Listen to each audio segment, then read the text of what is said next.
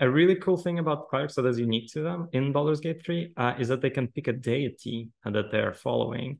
And whether their deity is evil deity or a good deity is going to be uh, coming up a lot in dialogues. Um, so as a cleric, your dialogue choices are going to be influenced by your deity primarily. It's really satisfying to have a really evil playthrough of Baldur's Gate 3 if you're a cleric of, of a really evil god. On the mechanical side, uh, clerics are um, uh, probably neck and neck with wizards um, in terms of how varied and how flexible they are as casters. Uh, and then in terms of the subclass, so there's a really dedicated healer uh, kind of archetype, which is life cleric. Uh, there's dedicated I'm gonna smash some people archetype, which is a war cleric.